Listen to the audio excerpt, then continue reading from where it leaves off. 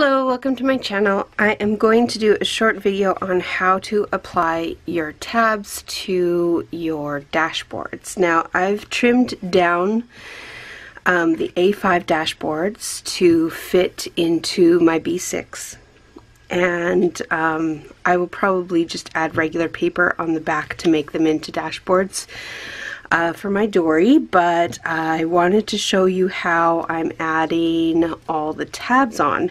Now I have used the tabs for a few other projects, so I've had to get a little bit creative, and I'm going to use the clouds from the April kit um, in 2017 as my fourth tab.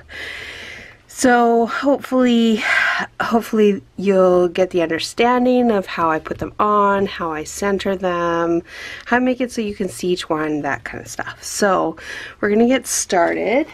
So they're already sticky and you can just place them on. So I've because I've cut out my dashboards, this is kind of the order that I'm thinking of doing them in.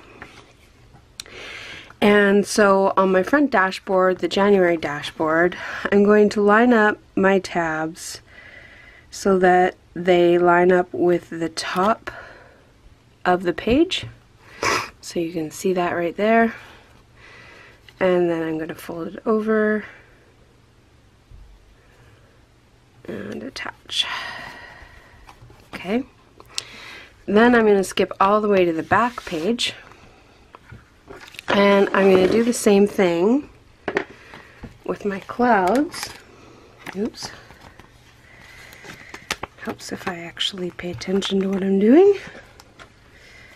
Alright, so my clouds I'm going to line up on the bottom. So same deal, just put it down on the bottom of the page, sort of wherever you like. I like it so that it kind of covers up the bottom square corner because if you line this this portion up, like say you did it like this, and then as you can see you end up with a tiny little bit of the dashboard sticking out in the corner. So I don't like doing that. I like to li lift them up a little bit and then uh, make them so that you can't see the corner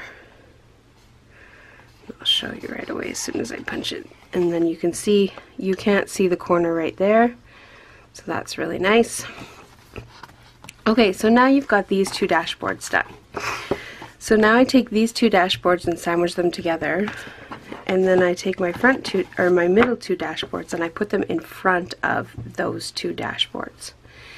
And the reason for that is then I take my other two tabs and I'm going to pretend that that's where I want that one.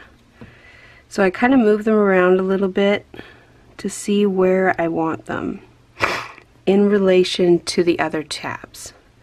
So these ones, as you can see, there's going to be like a little V shape in between each set of tabs, and that's sort of centered. So what I'm going to do now is I'm going to look at the sheet and see kind of where it falls in relation to the drawings on the page. This one in relation to this is on the top orange arrow there. That's kind of where I want this to sit. So now I can take my glue stick and put a bunch of glue on it. Oops. This glue comes off pretty easily. Alright, so again we want it to match up there and because I've lifted the other ones up a little bit slightly for the edges, I want to make sure that I do that with my center tabs as well so that when I fold this over it lines up. Okay, now it doesn't quite, yeah, it does. Okay. So now and I just press it down. And then I take the other sheet that doesn't have a tab yet and I move it to the top. And because I've already got these ones placed, we can just go ahead and put glue on this right away because we can just place it and again you're going to line it up so that it mimics the other ones. Lift it up fold it over. And there you go. And then you just want to take these two sheets and put them in the right order. Oops. get all stuck on each other. And there you can see you have perfectly aligned tabs so I hope you enjoyed that. I hope that helps you a lot um, with your tab placement.